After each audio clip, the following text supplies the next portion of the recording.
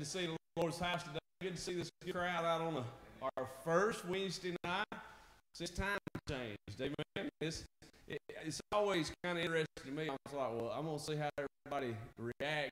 They're going to be worn out. I think they're all worn out because a little bit of time. But uh, to be, for you to stop what you're doing and come to church and um, to be a part of this Bible study, I know God will bless that. And uh, I know many of you probably have things you can continue to do and continue to work. So glad that uh, you came tonight. Uh, we're going to take prayer requests just a moment. We're going to get back in the book of Romans, chapter 15.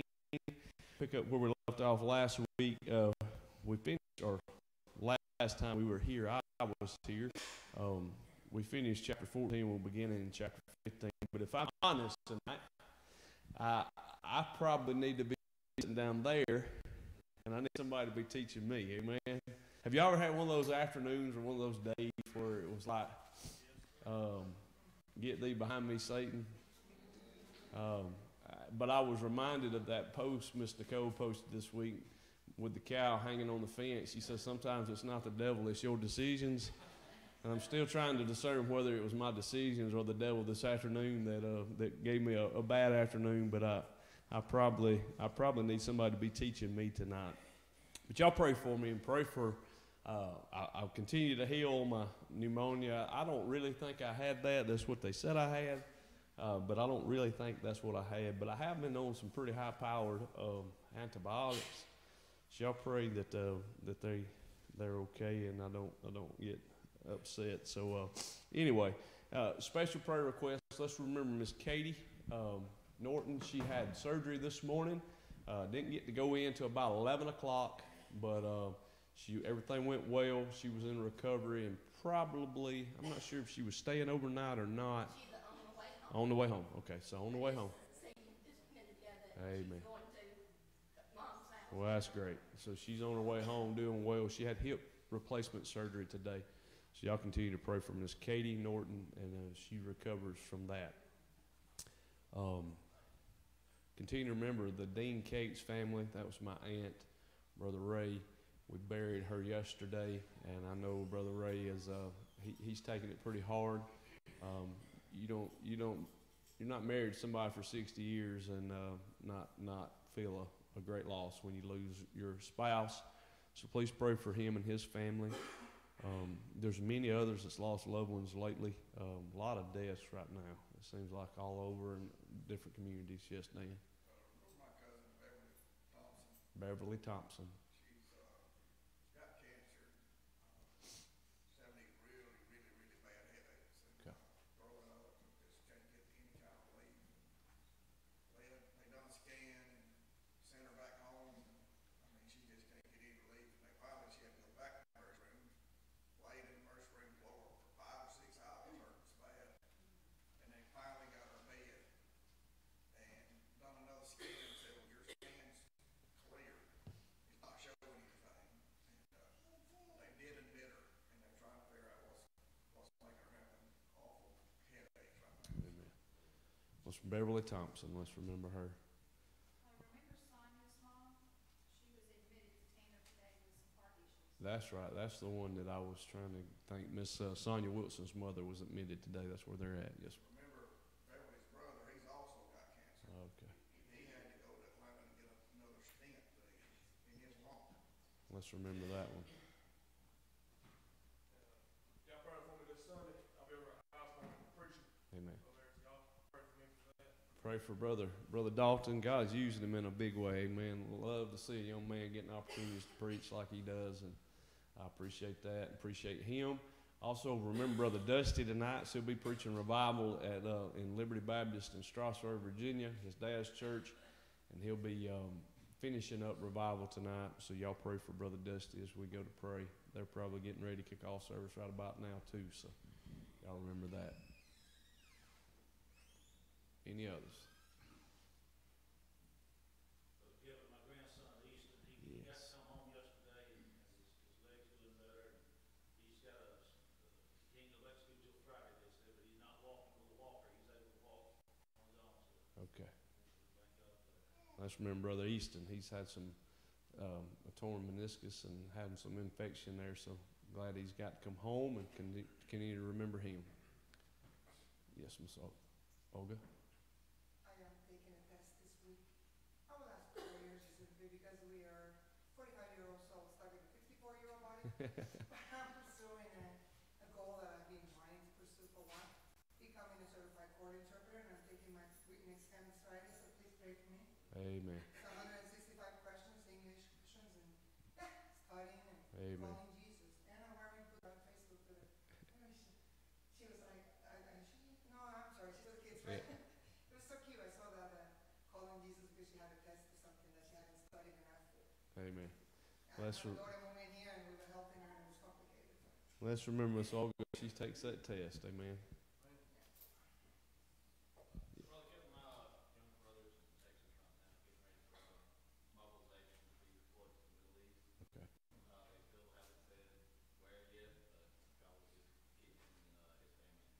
What's his name, Brother Will? Uh, Harris, Harris. Harris. Harris Park. Let's remember him. Any others? We need to remember our country, we gotta, like I said, it's a, expecting a big wave. uh, Illegals coming in, Haiti, Haiti, everywhere out there. Uh, Florida's really rising up for it, and there's terrorist alerts on high alert, so. New new voters. No, I shouldn't have said that. I can't say it again. Amen. We'll get- We'll get kicked off Facebook tonight.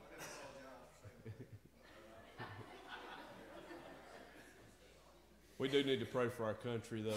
Pray, pray that. Uh, I mean, we enter into a new election cycle. Y'all know how crazy it's been the last few we've had. It's going to be even crazier this year. Um, but remember this: no matter what, I know it's been said a hundred times. You heard it all the last cycle. No matter who the president is, he, we still know who's on the throne. Amen. And he's in control of everything. And uh, I, I know a lot of people say this: the world's falling apart, and it feels like that. But really, it's falling right into place, exactly how God wants it to go.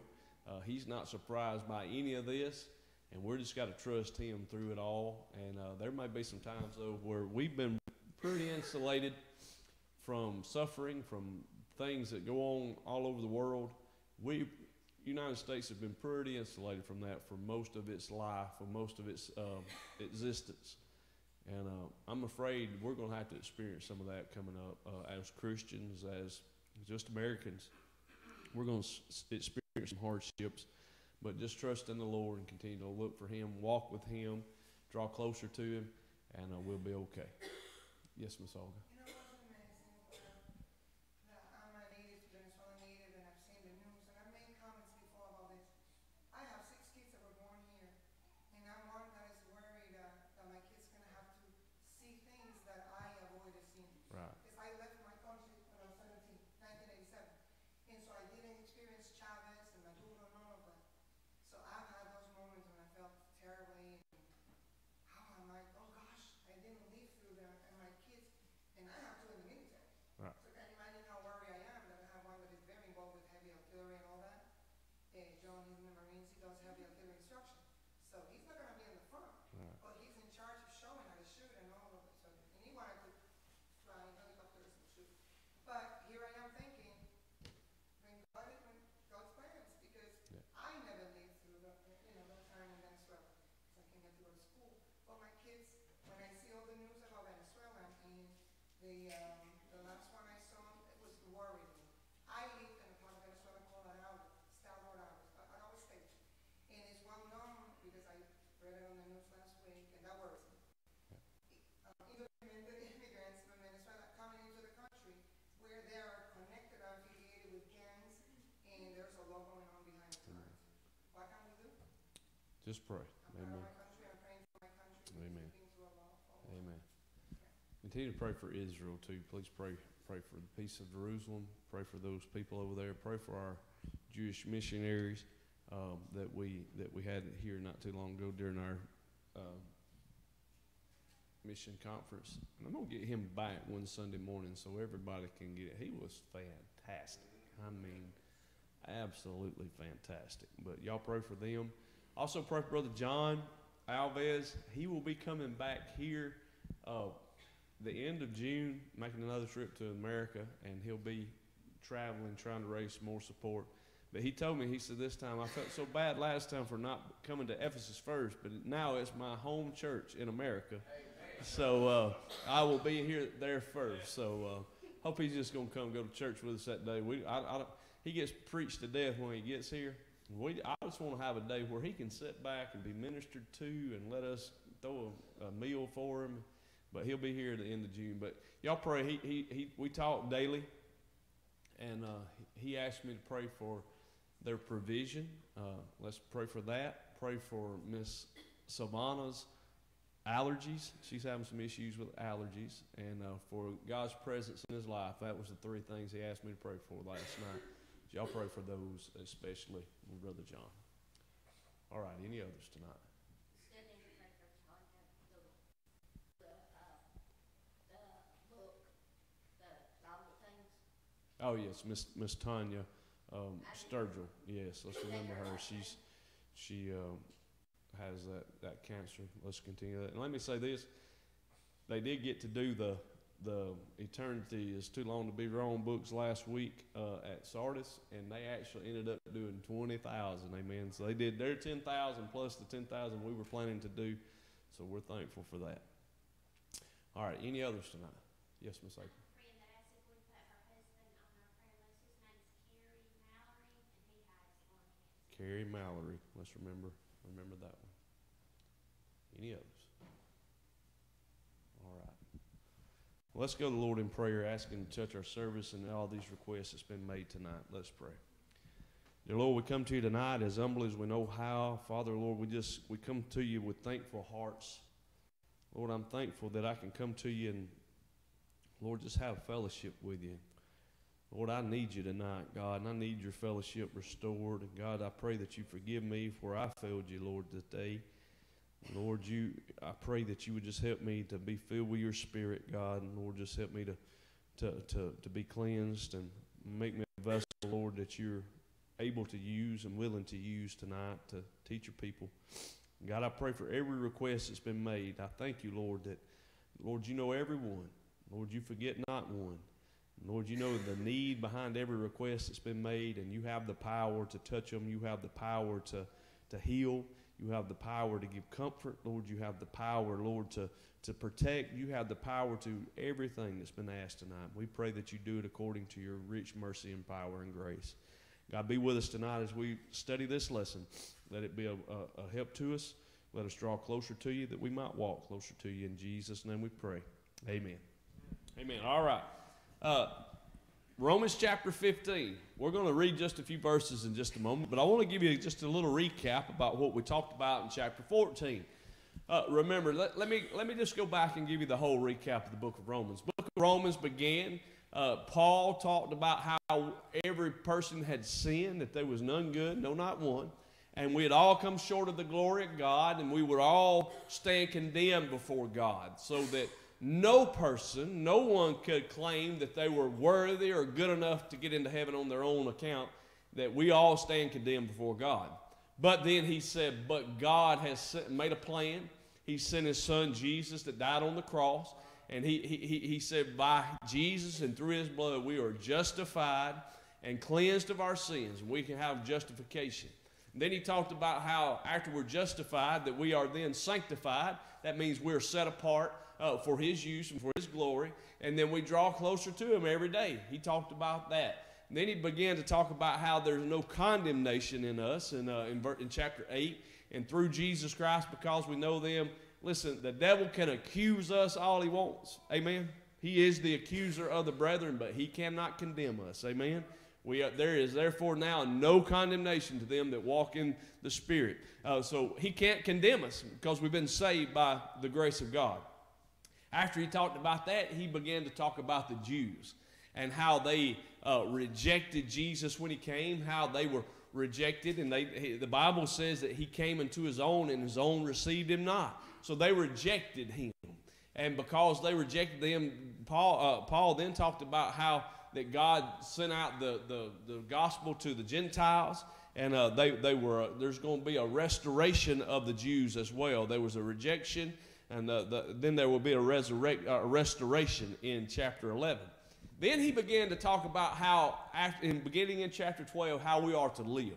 Now, this is very practical for us. This is how we are to live as Christians, how we are to conduct ourselves as Christians.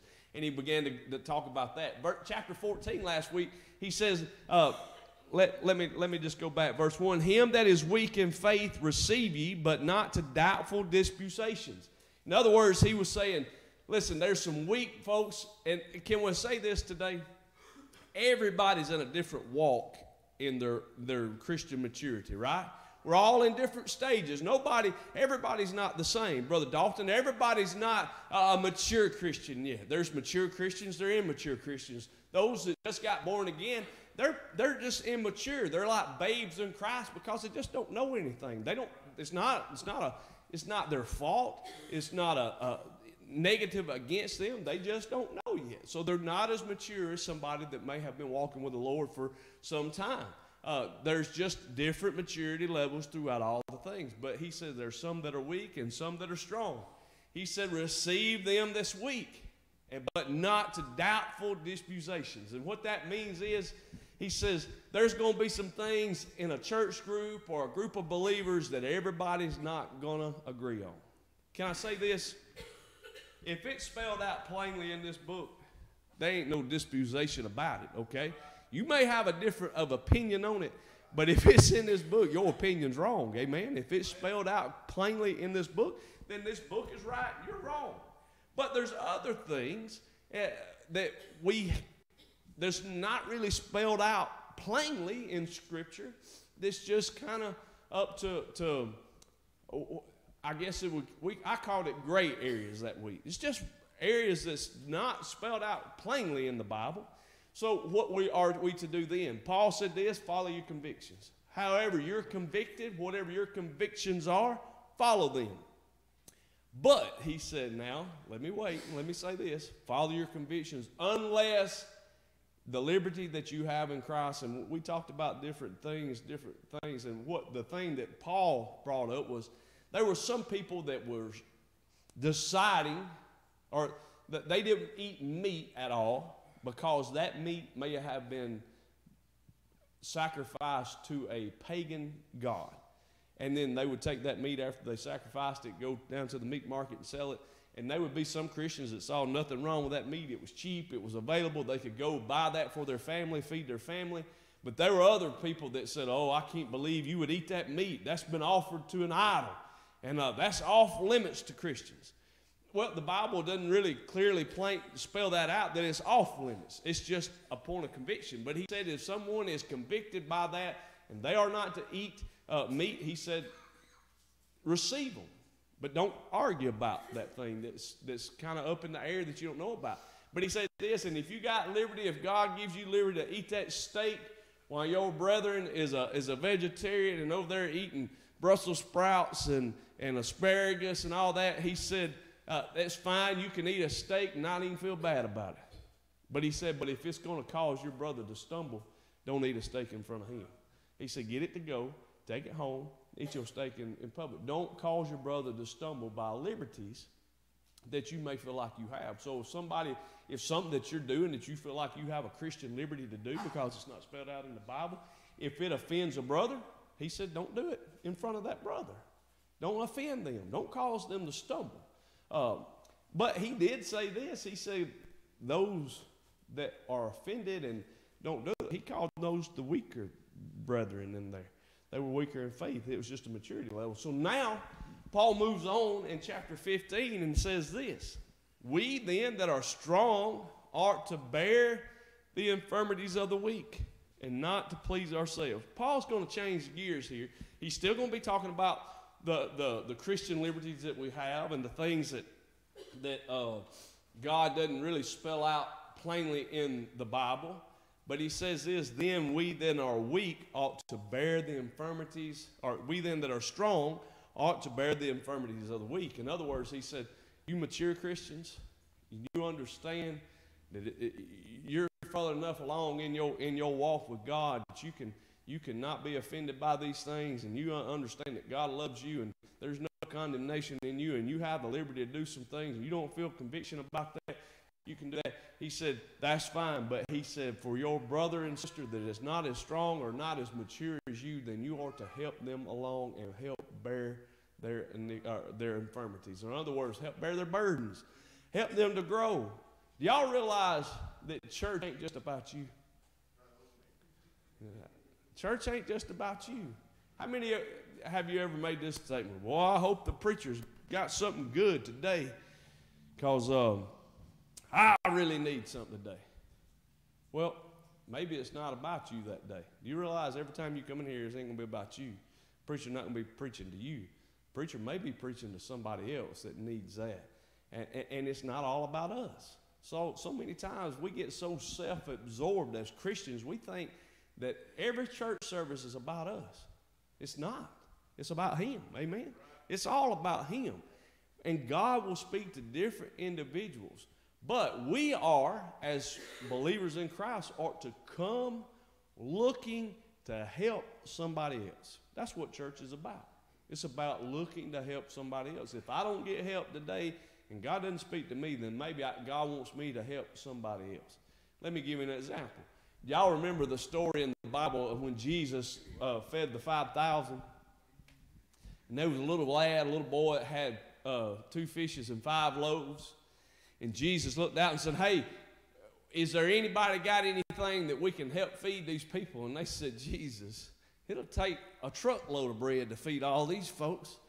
And they said, The only thing we can find is a little boy here that's got two fishes and five loaves.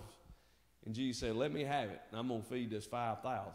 And uh, they were like, Oh, Jesus, you really going to do that? But do you realize what that little boy did that day? He came and was a blessing to everybody else. It's amazing to me that out of 5,000 people, he was the only person that had anything that Jesus could use.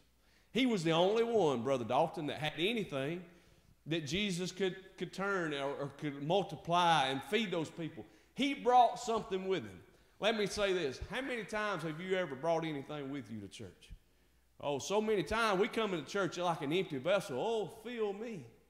Maybe you need to get filled before you come to church so when you get to church, you can be that one that helps somebody.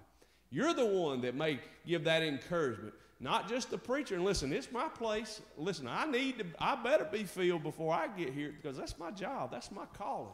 But it's also yours. It's also your calling that you may, it may be that you have something and somebody needs an encouragement and you're able to walk by and just give them a word and you're able to fill them up and give them something that, that's going to help them and encourage them on. So we need to help bear the infirmities. Those of us that are strong ought to help bear the infirmities of the weak and look not to please ourselves. That's what he says.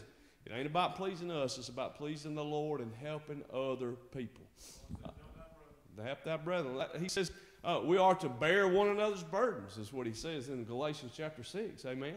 Bear one another's burdens. I'll give you another example of that. I remember uh, several years ago, we were heading to teen camp. And if anybody knows anything about farming, the middle of springtime to the first of, of um, summertime, I'm talking about it, it, it is the craziest time of the year for us farmers, right? We're always busy. We're trying to get crops uh, ready. We're trying to cut hay. We're trying to get grass fertilized. We're trying to get our cows laid by. We're trying to get our chickens done. It's just a crazy time of the year. And I tell you, leading up to that church camp that year, teen camp was in June. I was, I, if they say burning the uh, the candle at both ends, it was done burn all the way up. Amen. I mean, I was about had it. And I told Nicole I didn't know how I was going to get everything done that I had to get done before we went. But somehow I got enough to get me by. And I remember as I pulled out in that driveway right there, feeling just a, a ton of relief because I made it to that point and was going there. But this is the problem. I was drained. I, I, I was not a cup that was filled ready to minister out of my overflow. Do you realize this? You can't minister out of an empty cup. What's that old song, Brother Larry? It's uh, uh, drinking out of my saucer or, or, ministering out of your saucer. You got to drink. You, you got to minister out of your overflow. And I was an empty cup. going down there that day. Well, I got down there and we got everybody unloaded, and I was sitting there and I was just kind of leaned up against the wall. Man, I, I guess you could see it on my face. I guess you could just see the exasperation on me and in my life.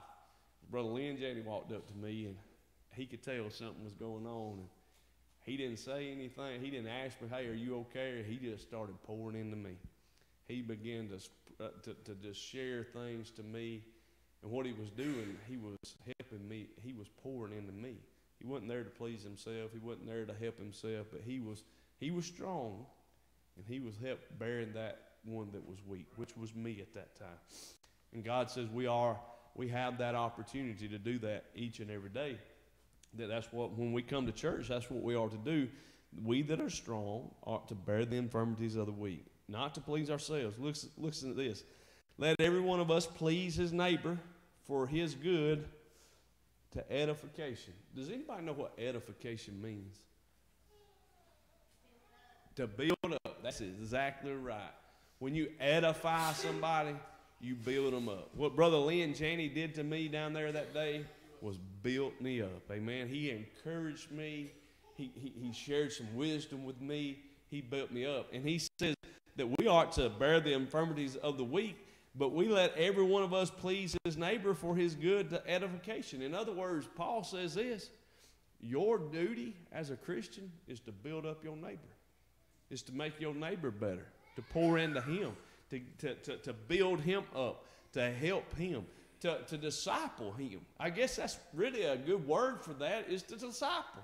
We are to help to disciple one another and grow in faith. Brother Edward, Brother Edward has a real gift for helping edify people. He edifies me, amen. He builds me up.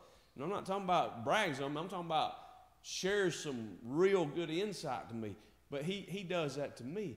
You do that to somebody else. You are to help somebody else. That's where that, that verse, iron sharpeneth iron, comes in. That's what we're doing. We're edifying one another and building one another up. He says, Let every one of us do that to please his neighbor, not to please himself. Let me ask you this How many times have you ever seen Christians that's all about getting what they want, pleasing themselves? Self absorbed Christians. It's all about what I want. I ain't worried about what nobody else wants. Listen, we need to really take heed of this because we're about to build a building, and there's going to be some things in that building that you're probably going to say, This is the way I want it. And eh, there may be some things where I say, This is the way I want it. But you know what? I may not get my way. It may have to go another way. And I got to be where I'm like, That's okay. Because I'm not here to please me. I'm here to please the church. I'm here to please the Lord. And I, I, I may have to make a, a, a, an exception. I may have to just swallow my pride and say, well, that ain't what I would have done, but that's what the church wants to do, and that's what we're going And there's going to be areas in your Christian walk that you have to do that in uh, a lot of times. Especially as Paul was talking when there's talking about things about the gray areas or those things are not spelled out in Scripture, you may look at something and say, I don't think that's right. Well, if it doesn't spell it out in Scripture, you may think it's right and you have that conviction, but don't look down on your brother because he doesn't see it that way. He's not that far along, or maybe you're you're not that far along. Maybe he's he's the one that's there. So you just say, I'm I'm going to pray for him, and I'm not going to let it cause a, a disagreement. I'm going to get mad at my brother because they, they feel this way and I don't feel that way. It's not really spelled out in Scripture. That's what Paul's teaching. Don't have disputations about it. Just agree to disagree. Say, I'm going to live my convictions, you live your convictions, and we're going, we're going to be one big happy family in the Lord, and we're going to follow Him and build up one another. Because this is what He says. Verse 3 For even Christ pleased not Himself, but as it is written, the reproaches of them that reproached thee fell on me. Do you realize what Christ did? He didn't come into this world to please himself. He, eh, eh, what did he say?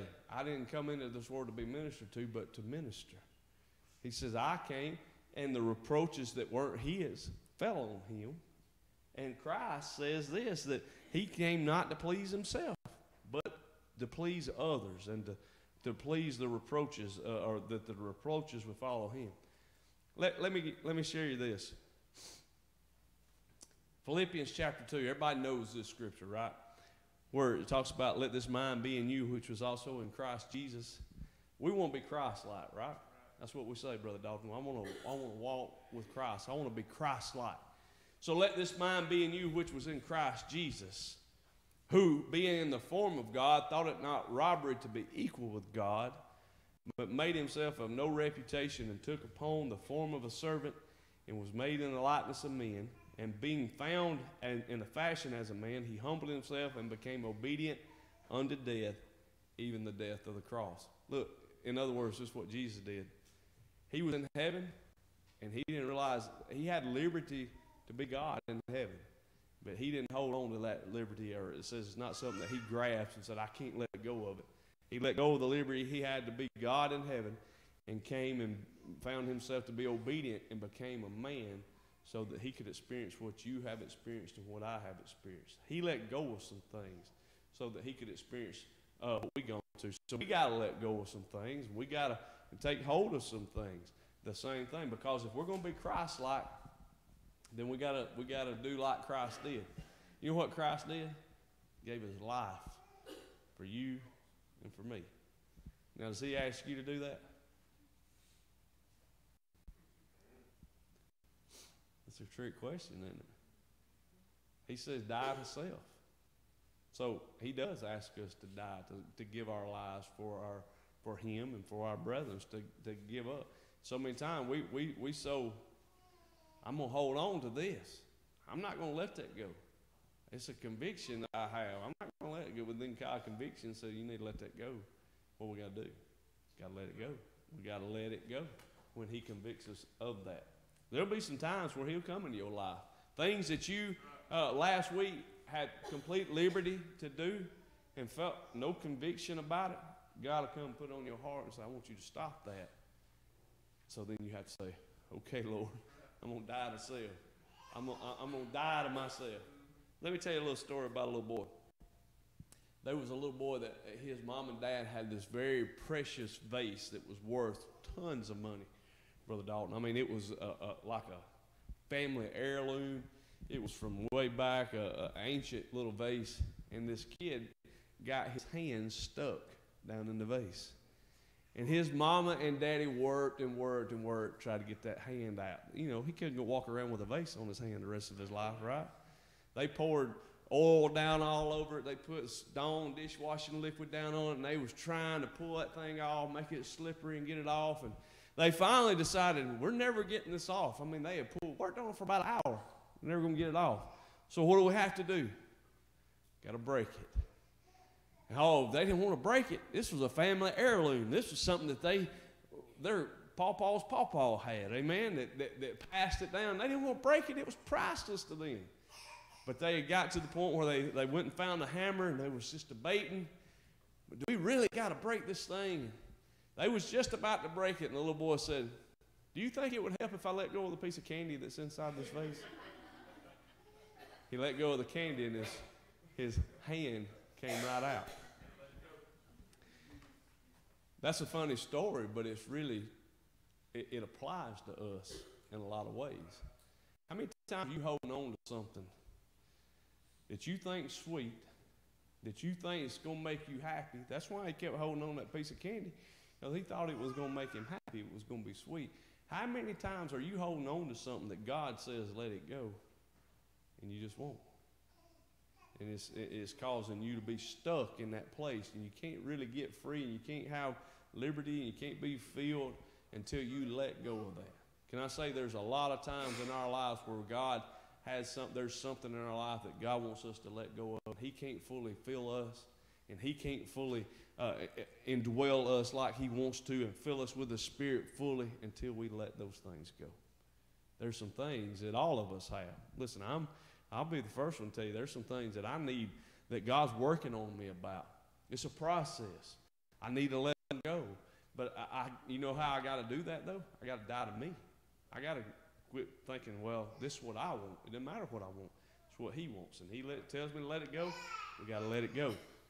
So don't keep holding on to things that are gonna that you think is gonna fulfill you when really the full fulfillment that we have is when we're filled with the Spirit. What does the Bible say? Be not drunk with wine, but be what? Filled with the Spirit. Be not drunk with wine, but be ye filled with the Spirit. That's the one thing that God says you can be full of. You can get as drunk as you want to get on the Spirit. And it won't give you a bad taste in your mouth. It won't give you a hangover. It won't make you feel bad. It'll, it'll fulfill you with everything that you have. He says, do this. And what, look, verse 4, he says, For whatsoever things were written aforetime were written for our learning, that we through patience and comfort of the Scriptures might have hope. What's he mean when he talks about whatever things were written aforetime? He's right. He's writing to New Covenant, New Testament believers in Rome right now, right? He's talking about the things that were written aforetime. What is he talking about? Believe he's talking about the scriptures, brother, that was written in the Old Testament. Those Old Testament scriptures. How many y'all ever start reading and say, "Man, I just I can't get the Old Testament." You know, this how this what usually what happens. You start in Genesis, man, Genesis is really good, right? It is a good story. It tells about the creation of the world, and it talks about Abraham, and talks about Isaac, and it talks about Jacob and all his family. Well, that's good. And then you get into Exodus, and I mean, Exodus is like a movie, right? I mean, it's exciting. It's the, it talks about Pharaoh. It talks about the plagues. It talks about leaving Exodus and uh, all the miracles that God done. It talks about crossing the Red Sea, and then you get to Leviticus, and what happens? Whoa, you just bog down. Beget, beget, so and so, and so and so, beget, so and so, and I mean, it talks about the laws. Don't do this, don't eat that, and don't say this, and don't do that. Before you know it, you're like, Ugh. I'm going to the New Testament. Amen. I'm going to Matthew, Mark, Luke, and John because this is just too bad. And I just can't handle it. Let me say this. The Bible just said that everything that was written aforetime was written for our what? Is written for our learning. It's all there for a reason, y'all. It may be hard to read, and it may not be written to us, but it's written for us. Remember that? That everything in the Bible is not written to you as a Gentile. Some of that is written to the Jews, but it's written for you. You can you can take it and you can learn of it, and it can help you. And he says everything that's written, even the Old Testament, New Testament, is written for our learning, that we through patience and comfort of the spirits might have hope. Do you know where you can find more hope than anything? I know somebody may come out running in a in a uh, election and they may tag that slogan or something, uh, "Hope for America" or something like that. I, I remember when Obama ran, he was like, his thing was change, right? He was going to change everything. He did, but it was for the bad. Amen. But can that a politician may promise you hope, you can't find no hope in, in politics and in government. Those things they can't do anything for you. But where you can find hope is right here. Look what it says. In the comfort through patience and comfort of the spirits, you might find hope. Of the scriptures, you might find hope. I, I, I like it, Brother Dalton, when you can get down and you can pull your Bible out and begin to read it. And I'm talking about you can be upset, having a bad day, and man, it'll just comfort your heart. I remember this one time in particular. It's always stuck out to me. I was a teenager. God was dealing with me about some things. I was saved, but I wasn't where I was supposed to be. Uh, our pastor had left the church that I was attending, and uh, I was kind of lost because that's the only pastor I'd ever knew. I didn't. I, I never knew another pastor, and uh, he was there when for as long as I can remember. He had left our church, and I was just kind of lost. And I was like, "What am I? I supposed to do?" So I started visiting another church, and that pastor was was great. Boy, he was doing good, but his preaching was pretty convicting. Man, I was being convicted. And I remember laying in my bed one night, could not go to sleep to save my life. I mean, I tried to count sheep, didn't work. I tried just to count, it didn't work. I tried to do all types of things. I tried to think about anything other, nothing worked, brother. I was laying there, it's about 12:30, 1 o'clock that night. I'm like, I'm never gonna go to bed. And all of a sudden, it's like the Lord impressed upon my heart, get your Bible. I got that Bible out, and I was about 16 years old at the time. I got that Bible out, and I opened it up. and I began to read, and I, I, I didn't know where to go or what to do, so I just opened it. Sometimes you can do that. You just open it, and wherever it falls, that's what God wanted you to find. And I remember opening it up and just started reading that night. Man, I've had a, a peace that come about me. I was restless. I had that restless leg syndrome. I was moving, couldn't be still. But I began to read that scripture. And I remember peace come over my heart and over my life. And I, I read for probably 45 minutes, 30 minutes, 45 minutes. Didn't, I didn't have a whole Bible study, but I just re- read. And after I got done reading, I prayed. And when I laid my head down on the pillow, that's the last thing I remember my head hitting the pillow. And I was asleep. And I had a good night's sleep. But it brought me peace and comfort of the scriptures. It probably wasn't Leviticus. I don't think I opened up to Leviticus. Amen. I'm pretty sure I went to the New Testament that night. Amen. But it did. It gave me peace and comfort and uh, also hope.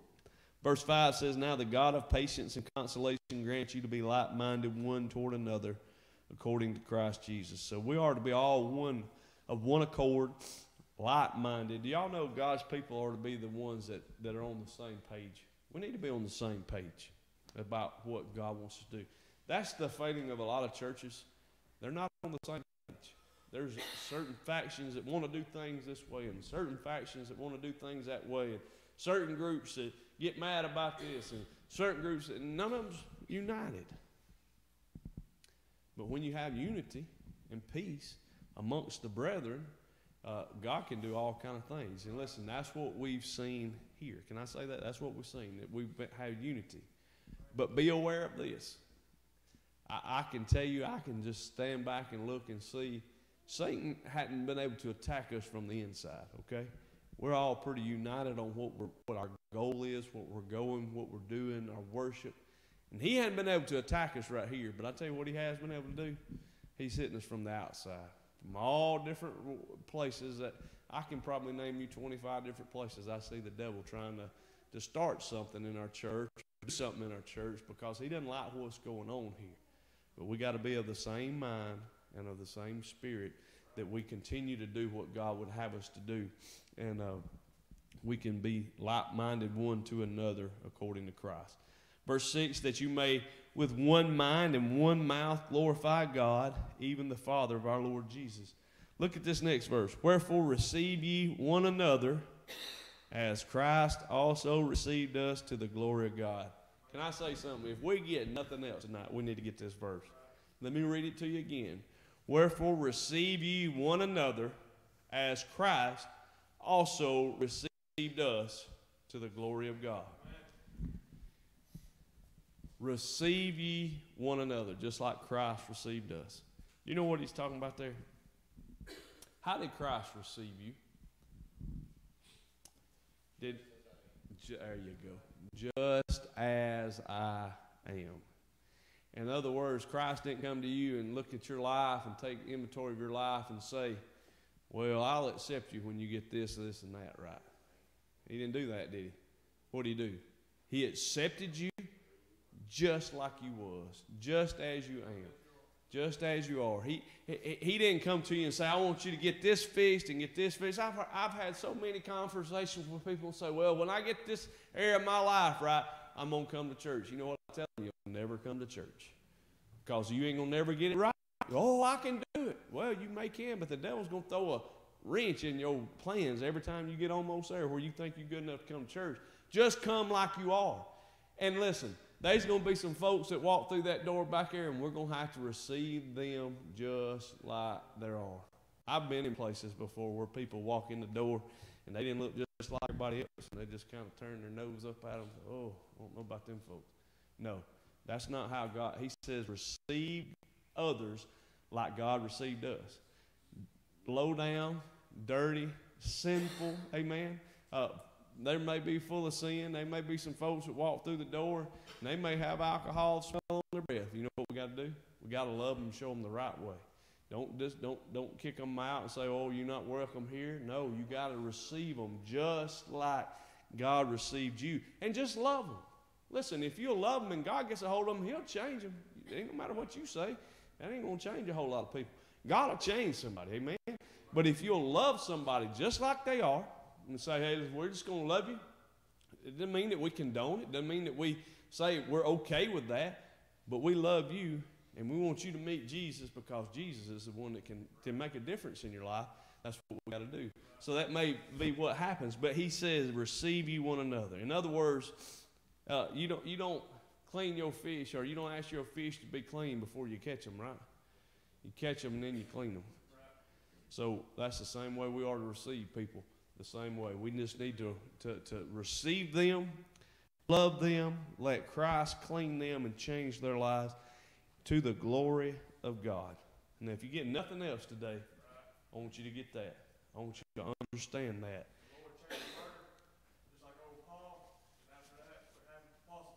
There you go. Just think about how, how, how he was. He was killing Christians, right? And he thought, listen, this is the thing. He thought he was doing God a favor until God came in and said, shine that light on his heart and says, Saul, Saul, why hast thou persecutest thou me? And uh, he changed his life, right? He changed his life. Uh, I, I just wanted to be the one in the, in the church. Listen, could you imagine Paul or Saul of Tarsus walking in the church house that day when, uh, I mean, that would be like us today, Osama bin Laden walking through that back door right here. I'm, I'm serious. I'm talking about if Osama bin Laden would have got born again, it's been like him walking through the door saying, Hey, I'm going to go to church, y'all, because I got saved and got born again. What do you think most of us would have did? Oh, we would have went crazy, wouldn't we? But Paul did that. He walked up in that door, a changed man. And they received him. Uh, I know there was a lot of them that, that probably kept him at a distance till they could understand and see if he wasn't going to try to trick them and kill them, but they received him. So he took them just like they are. Verse 8 Now I say that Christ Jesus was a minister of the circumcision for the truth of God to confirm the promises made unto the fathers. What he said, that he first came to the Jew. Do you realize through all the books of Matthew, Mark, Luke, and John in the book of Acts, it talks about to the Jew what? First, right? Because that's who he was came to.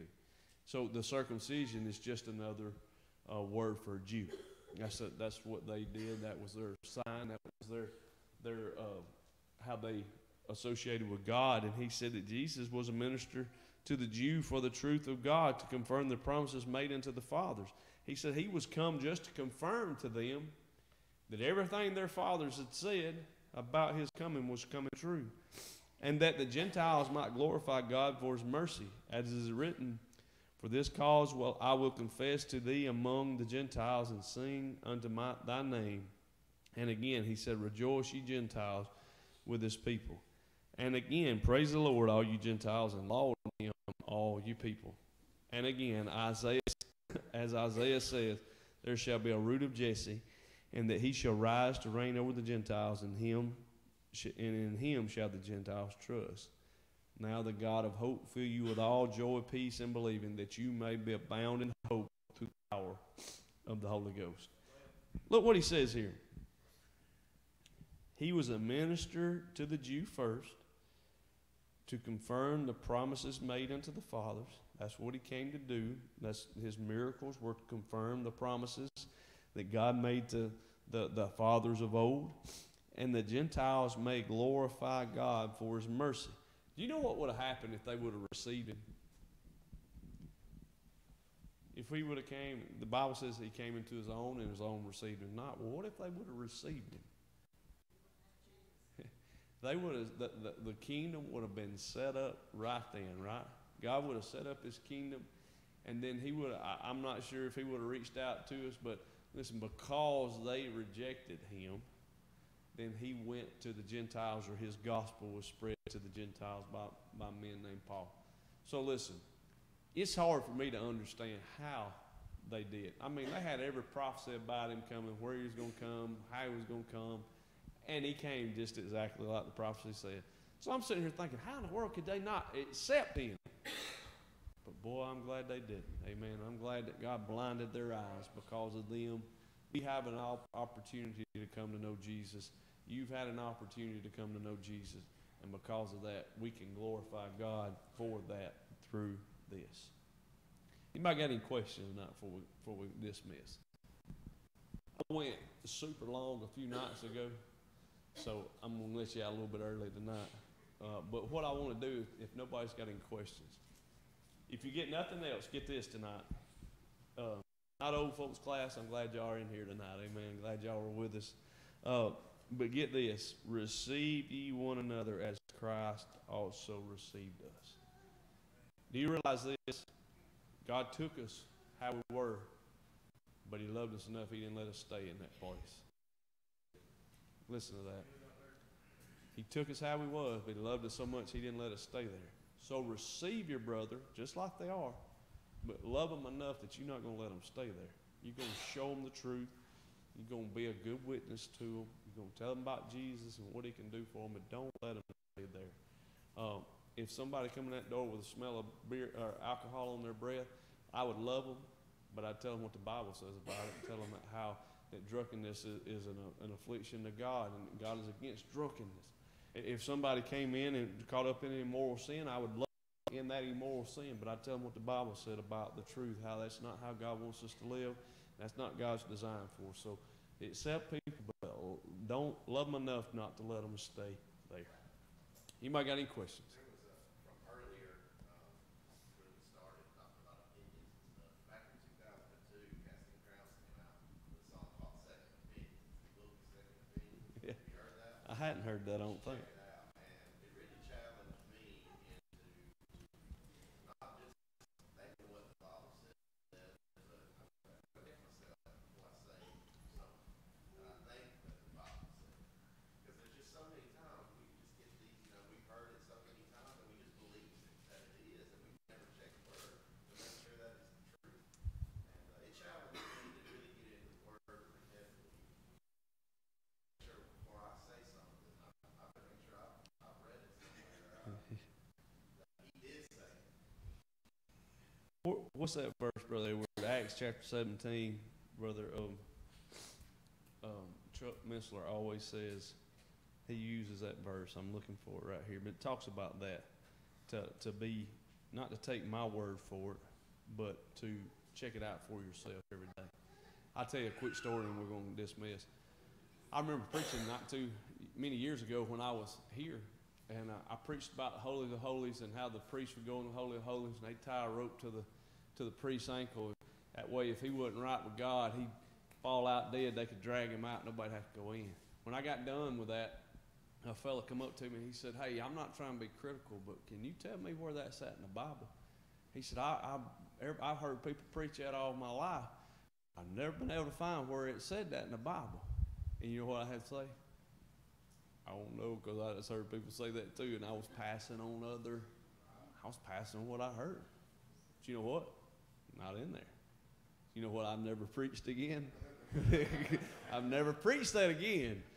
But what I'm saying, you're right. Sometimes we take things that people say and, and it's not in there, so we got to check it out. I wish I could find that verse. It's Acts chapter 17.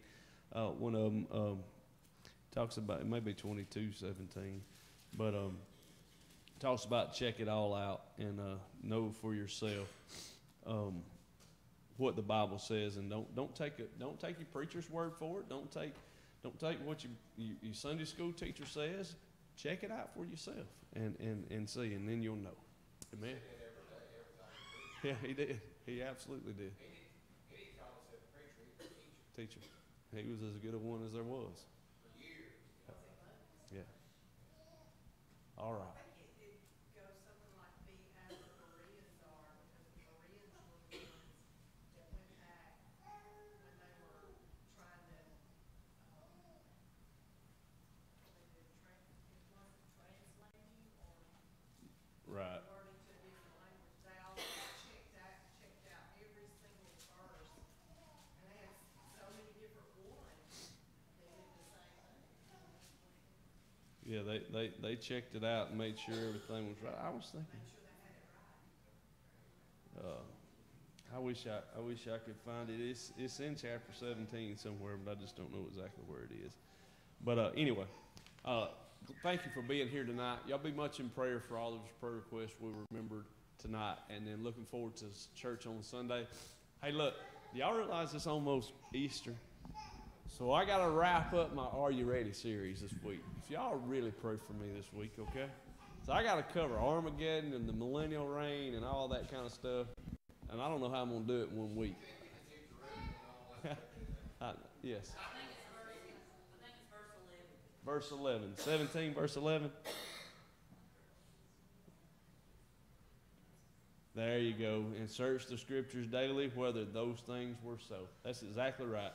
Verse 11. Thank you. So y'all go to list that. Yeah, but y'all pray for me. I don't know how I'm to do it, but I'm to I, I got to get it done uh, this week. A- a- unless we're going to come back after Easter and, and, and finish it up. I, I got to let you out every once in a while. I can tell you this. After Brother Mike was here the other day, y'all appreciate me, amen. Let's stand to our feet. Let's do this tonight. We're going to do something a little different. Uh, Miss Jennifer and Brother Jason, if y'all would come forward. Miss Jennifer and Brother Jason's asked us to pray over them tonight and just pray over their family. So this is what I want you to do. If you're able to come, would y'all just come up to the altar? Y'all can bow down on your on your knees right there. We're just going to lay hands on them and pray. The Bible says if there's anything afflicting you, if you're sick, if you have any kind of troubles, to call on the elders of the church and ask them to pray.